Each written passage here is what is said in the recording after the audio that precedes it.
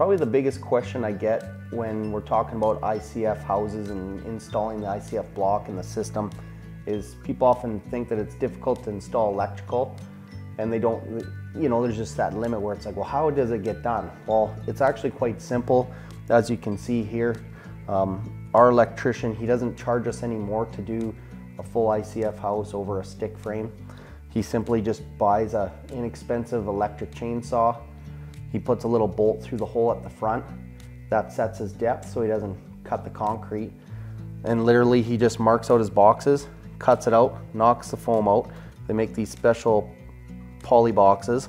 And then you can see where all he did is just create a groove and he just cuts the groove out and you can see if you pan over and go all the way over to the left, he's made that groove, he's come back down to another box, he comes in and back out and just continues that channel on.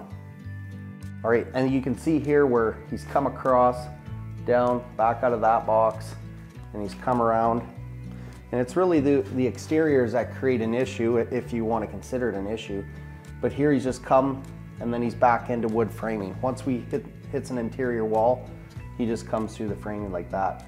Now, if you want to, some guys will just run, rather than cutting across snap ties, you can just run your electrical up all the way into like a floor joist or your truss system over to an interior and back down. So there's lots of ways around it. It's not that tricky. So I just wanted to show you that, that it's, uh, it's actually quite simple. That's it for now. Thanks for watching. If you enjoyed the video, please subscribe to our YouTube channel or check us out on some of the following.